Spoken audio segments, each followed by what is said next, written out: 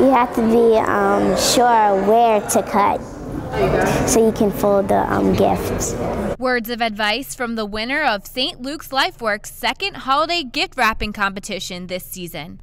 Nine year old Robin faced off against talk show host Steve Wilkos at the Rich Forum Tuesday afternoon. The event was to promote St. Luke's 22nd annual holiday gift collection, which will provide presents to over 2,700 children affected by poverty, AIDS, or homelessness. Organizers say they are still in need of 500 gifts by December 9th. Wilkos says he is happy to help get the word out. St. Luke's does a wonderful job to make sure kids have a good Christmas, and I'm very fortunate that they let me be part of it. He says he faced some tough competition. Oh, Lil Robin, she did a great job. I mean, really nice and quick, and she did a great job. I was impressed.